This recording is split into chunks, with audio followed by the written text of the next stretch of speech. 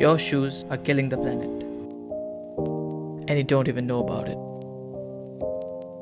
So please hear me out for the next few seconds.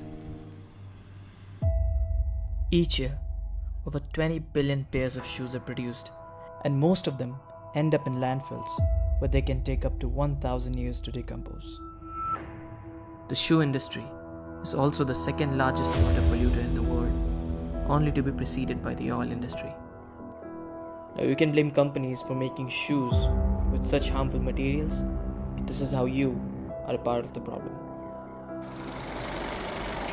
I so I quickly wanted to ask you a simple question like uh, when was the last time that you bought a pair of shoes? I think last week, a few days back.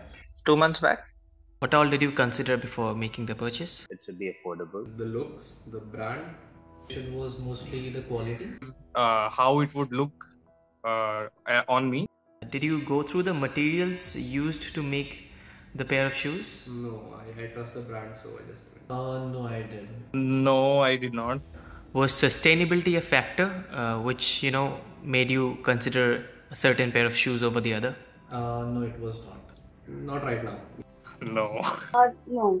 Well, if it comes under my budget uh, within that sustainable, then it's fine. If it doesn't, I really don't care.